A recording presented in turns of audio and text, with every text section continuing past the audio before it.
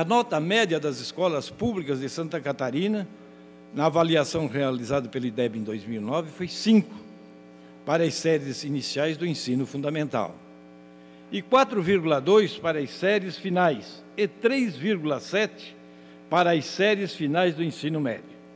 Se esses resultados são muito bons, quando comparados aos, aos estados mais desenvolvidos do Brasil, eles estão bastante afastados das médias alcançadas pela rede da escola privada de Santa Catarina.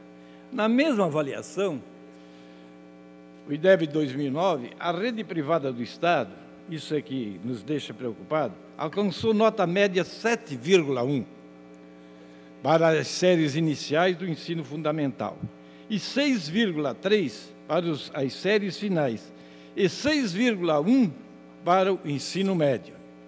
Não parece lícito que a sociedade catarinense, que tem a justiça social como principal fundamento ideológico, deva conviver com tamanhas injustiças no que diz respeito às oportunidades para um futuro melhor.